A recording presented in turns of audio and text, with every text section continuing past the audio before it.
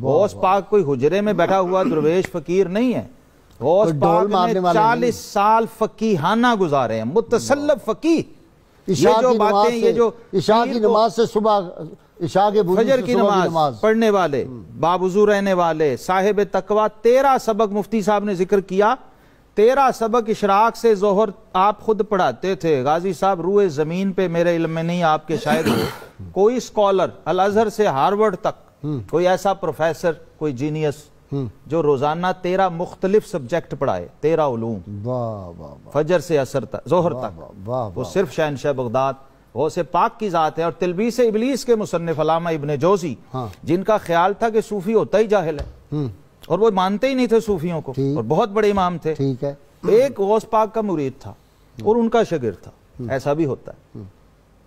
उसने अपने उस्ताद मोहतरम से कहा हुजूर आप सूफियों के पीरों के दरवेशों के बड़े खिलाफ हैं। कभी हमारे पीर की महफिल में चले? हम्म, तो तेरा पीर क्या करता है? उनका जी मेरा पीर दरस कुरान देता है। पीर हो के दरस कुरान? कि जी कुरान की तफसीर बयान करता तो क्या मैंने वहाँ जा करना मेरी सारी उम्र कुरान पढ़ते पढ़ाते गुजर गई है। मैंने हज़ारों उलमा बनाए। कहा नहीं एक बार चले। वो इसरार करके मुरीद ले गया और हुजूर गौस पाक की महफिल का यह आलम होता था कि कारी एक आयत पढ़ता या तीन आयतें।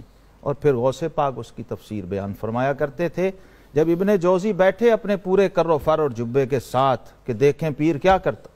आपने एक आयत की एक तफसीर बयान की, उस शागिर्द ने पूछा कि हज़रत ये आपके इल्म में थी?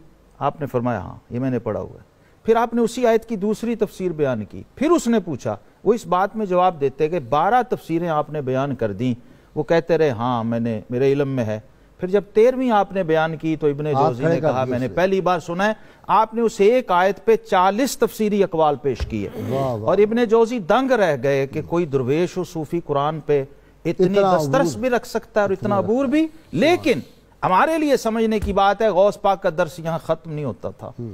आप उसके बाद वाखिर दावाना नहीं कहते थे फरमाते थे लोगों अब हम काल को छोड़ते हैं और हाल की तरफ़ आते हैं हैं। और फिर जो कलमा तैयबा की जरब लगती थी ना बेहोश हो जाते तो थे। लोग कपड़े फाड़ देते और जज्बो हाल। और सत्तर जनाजा उठता था।